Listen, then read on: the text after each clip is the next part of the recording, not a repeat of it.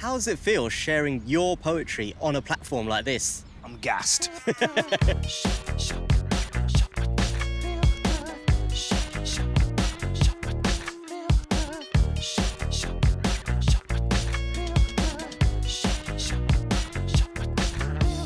So, Life and Rhymes is a spoken word performance show hosted by the living legend, the one and only Benjamin Zephaniah. Uh, we also have an open mic section which opens up the stage for the audience to participate and be a part of the true nature of spoken word. Essentially, we're treating this like a live event, so it's it's coverage but more. So we're, our job is just trying to make the performers feel comfortable, um, be able to connect with the audience, whether it's here in Battersea Park or at home. We made a decision to use film cameras, film lenses, give it a, a real cinematic look, combined with the lighting design that I've done, just to just to add drama to every image, really. Has there been any issues maintaining this set?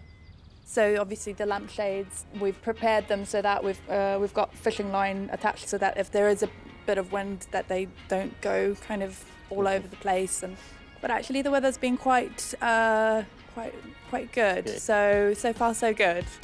The finger snaps has been an interesting one because usually, like when people are laughing and, and applauding, it's loud, and the finger snap is quite quiet, but it's essential. So what we've done is actually we've wild tracked a bit of that, and we take a little bit of audience reaction before the start of the show as well. So that goes off to the edit as a separate thing. They can drop that in. I don't know if you want to put that in because it makes it sound like it's been faked. So. No, no, no, it's all real. No, it's all It's real. real, it's all real. real, Yeah, yeah, yeah, definitely. How does it feel performing your poetry on a night like this? Bit mad.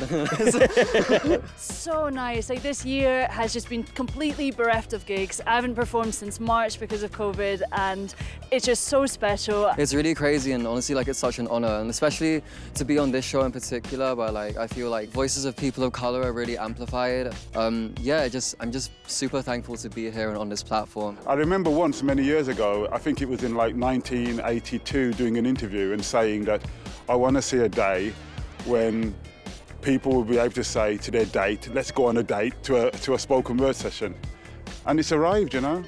And I think what's happened up until now is that there's been programs, art programs, and they'll have a poet on or a spoken word artist on. I think what we're doing now is, you know, is pioneering, you know, a dedicated spoken word show. What do you hope the audience will take away from the show? What I want them to take away is to enjoy something they don't always see. The most important thing uh, I'd love the audience to take is just that deep connection with spoken word. I want the audience to think and to listen and to sort of come out of and go, wow, yeah, that's true. If they are spoken word aficionados, I hope that they're excited to see their art form on the TV. And if they are first timers to it, I hope that they take away how creative it is and how original it can be. And I hope that they continue to follow it.